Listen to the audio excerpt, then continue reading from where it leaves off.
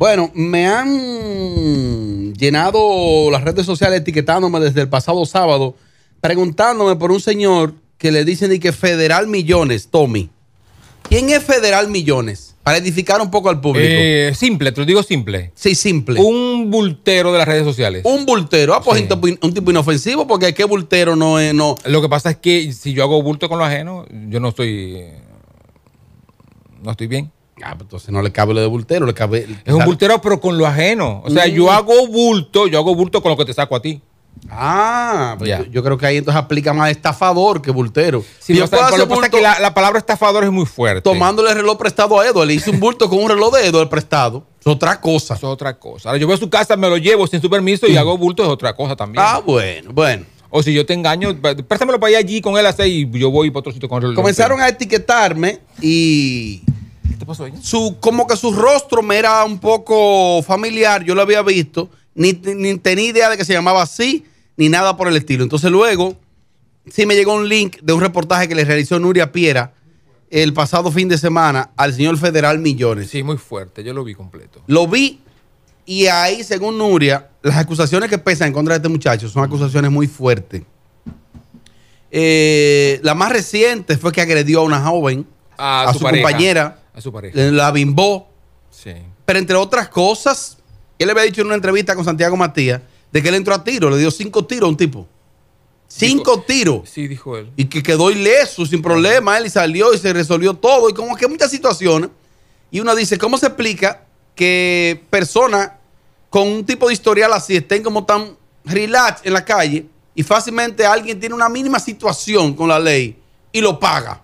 Tú sabes también que puede pasar que la gente que es así como él es muy bultero y, creen y creen que se la están comiendo y, y hablan de más. Ujú. Por eso dije que yo le di cinco tiros a un tigre. Él lo dijo, yo creo que lo dijo con- por, por la emoción y por ser bacano en la entrevista y esas cosas. Pero yo no creo. Yo, yo no creo. Mm. Eso sería por decirlo. ¿Tú crees? A mí me parece. Eduard, ¿qué usted sabe de Federal Millones? Es una persona que es del Cibao, es bien conocido, eh, comenzó siendo redes. promotor en discoteca, o sea, era un estilo de influencer Oh. antes de que las redes sociales comenzaran a tener este auge. Alquila vehículos, alquila cabaña, alquila villas y alquila botes. Es la información que yo tengo de él. Lo que me encuentro extraño es que en la República Dominicana siempre hay un sinnúmero de detalles o acusaciones sobre una persona, pero esta persona siempre anda normal en la calle. Entonces yo me lo encuentro extraño que digan que él es tantas cosas y que estafa a tantas personas y él anda como que si no está pasando nada. Al final de la jornada, para mí, él es una persona que trabaja normal y de esas muchas cosas que se le acusan, algunas son ciertas y algunas son falsas. Según vi ahí en la en el reportaje de Nuria, yo vi un, yo vi un poco, yo no lo vi completo. Eh, supuestamente este señor, las personas que intentan acusarlo o denunciarlo, él lo amenaza. Ajá. Entonces, oye, ¿qué es lo que sucede con eso?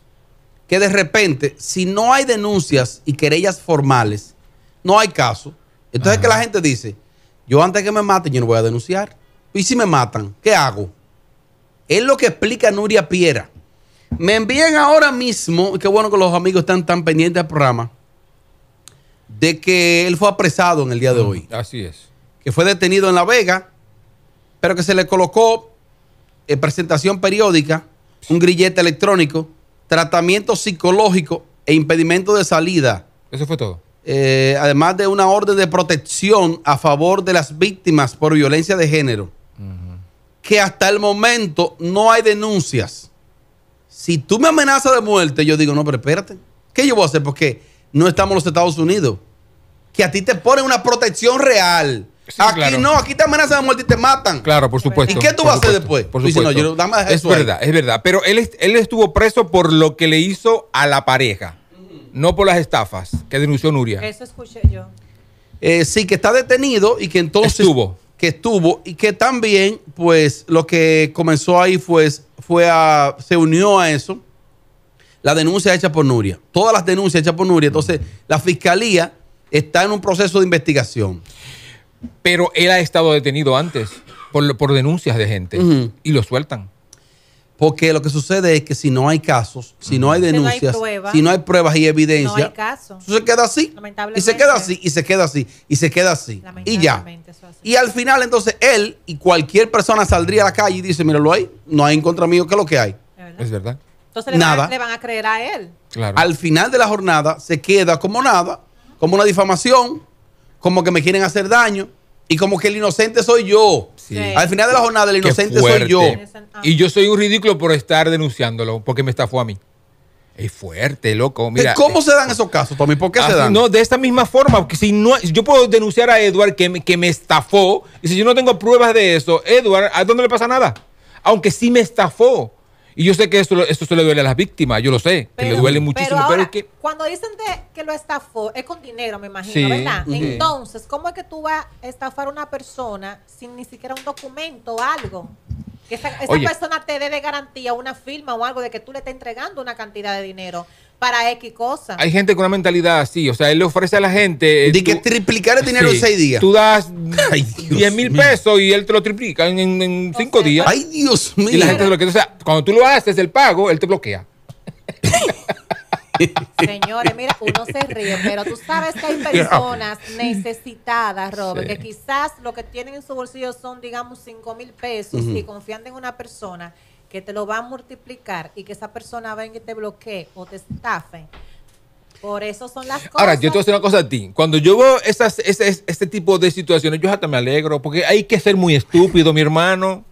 O sea, yo tengo que ser muy estúpido yo para yo para yo dejarme persuadir por Edward o por cualquier gente. Que ven, dame 100 mil pesos que te voy a... com-". Digo, mi hermano, espérese. Lo primero que entonces, de ser así, ese tipo ni obliga a nadie a que lo haga. La gente es muy ilusa. Pero también, el que amigo. cae en esos ganchos hay que investigarlo también. Es como tu amigo. Porque Blanca. investigarlo también esa persona. ¿Por qué? ¿Y qué es lo que tú quieres? ¿Tú no puedes fajarte a trabajar? No. Yo voy a dar 10 mil. Yo escuché bien el reportaje.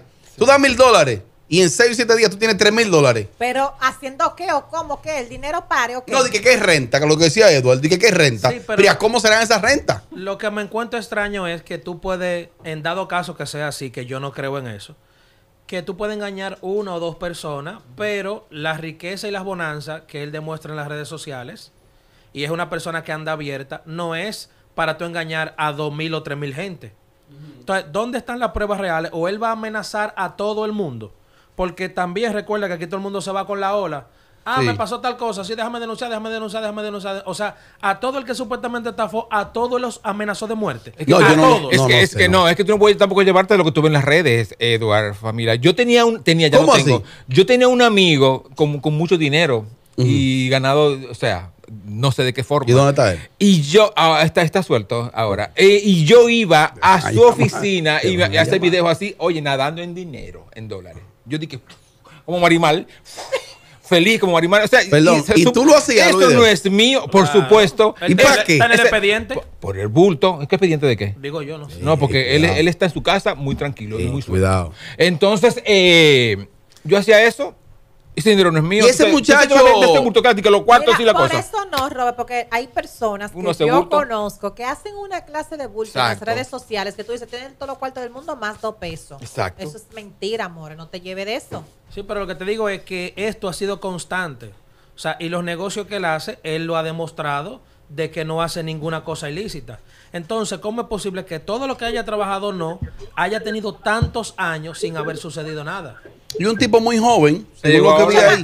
Le llegó el chance ahora. Es muy un- joven. Es un chamaquito. Aló, buenas. ¿Qué hay sin filtro? Dale para adelante. Está el chipero, mi hermano. Rompe chipa. Mira, Robert, eh, Edward y Amelia y mi hermano Bernie. Con- Yo de, de la justicia de este país, yo, ¿cómo te digo? Porque no Bueno. Pero escucho una voz más agradable ahora que la de que la del señor Chipero y es la de Sandra Berrocal. Sandra, hola, ¿cómo estás? Ya. Hola, Robert, mi alto amor. ese audífono parece. Sí, está muy alto. ¿Cómo está todo, Sandra? Todo bien, gracias a Dios. ¿Todo bien? Sí, Qué bueno, sobrevivimos y estamos vivos. ¿Eso es lo importante? Sí, Sí, sí, gracias. seguimos vivos. sí. Gracias, gracias. tapón, tú sabes. Escuchamos ahora opiniones del público. Saludos equipo. Óyeme, Robert, Federal Millones está catalogado como un estafador. ¿Sabes por qué? Porque él lleva años vendiendo como un, como un paquete de que dame 50 mil pesos y yo te voy a dar 100 mil. Dame 100 mil y yo te voy a dar 200 para atrás. ¿de dónde la gente cree eso? Yo no entiendo. Y pregunta a Amelia que ese amigo full de Amelia. eh, andaba con Amelia antes, según él. Es verdad. Pero yo una vez en una discoteca de aquel lado estaba con él haciendo, haciendo coro y yo soy amigo de ella por eso. Sí, pero es que la gente, tú sabes cómo es la gente. Amigo full. Hello. No, tú sabes que Yulisa es muy, a- o era muy amiga de ¿Cuál él. Yulisa? Yulisa de Santiago. Ultra Lipo Plus. Entonces, ¿Tú yo sabes? fui a Santiago Ah, la de la pastilla. claro. La viejita, sí. y ahí yo es lo gitano, más respeto. No, Perdón. no, joven. Y ahí ella me lo presentó y lo conocí y lo que yo pude de ver, ver ese día de ese muchacho, un muchacho sano, Pero que tú no andas con él, tú puedes conocer, no importa. Claro. Yo no conocí a César. No, pero lo lindo El abusador. del caso es que Dime. yo no puedo ni siquiera hablar con un hombre o que lo vea en una foto Oye, dije, conmigo, ¿qué full tuyo? No, Mario mío. Full, sí, Ah. esposo, esposo. Diablo, Robert. Saludo a todos mis compañeros del área. Saludo a todos los radio escucha. Eh, a todos, radio escucha. La justicia tiene que meterlo preso, Edward. Robert tiene que meterlo preso. Amelia, Sandra, tienen que meterlo preso. ¡Diablo! Lo meten preso, pero. metan. Pero lo que pasa es que si no lo han metido preso porque realmente no tienen la suficiente prueba. Exacto. Entonces, si no tienen prueba, no lo pueden meter preso. Pero que una gente caiga preso es que vaya. Pero ahí se Ahora ve. que lo procese la justicia, Sí. es que tiene que existir En lo que tú leíste, claramente se notó que estaba, estaba detenido por lo que le hizo a la mujer. Claro. Y ya lo soltaron. Pero ese video que presentó Por lo otro Pero ya. la mujer eh, lo, lo Lo- sometió a la justicia. Lo- yo creo que sí, porque lo que pasa es que se hizo viral eso en, la- en las redes sociales porque salió el video de- a gol- golpeando, Pero por agresiones, por agresiones más simples, hay tipo najayo esta Pero hora. yo vi- Porque lo que yo vi ahí fue. Bueno, yo vi unas fotos que no sé si son No, yo vi un recientes. video. Pero antes de esas fotos y ese video, también había un video donde ella también lo acosaba con un cuchillo. A él. A sí. él. Sí. Y Y decía no como que se quedara nada. tranquilo, que se quedara no tranquila, nada. que se Sí. quedara tranquila. ¿Pero y quién graba eso entonces? La, La cámara, cámara de la, casa, casa. la seguridad. habitación. Como que aquí hace un lío y esta cámara graba. Como es. una cosa, s- siguen habiendo dominicanos burros que todavía caen, caen en esa de que dame 50 mil y te voy a multiplicar en 200 mil. Todavía Colón existe y Federal Millón es la prueba de eso. Seguimos escuchando más opiniones del público. Saludos, buenas tardes equipo, un saludo desde la romana. Bueno, yo opino que ese tipo, ese tipo tiene un telefree cualquiera, una vaina de eso.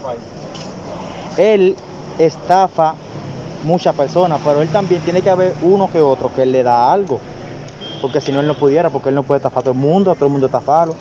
Él engaña a uno cuanto y hay otro que le da para atrás y ahí es que está el truco. Es una pirámide, normal. Saludos de la romana. Más opiniones, aló, buenas. Aló, Robert, ¿cómo tú estás? Usted, co- por acá, usted ¿cómo te conoce a Federal Millones.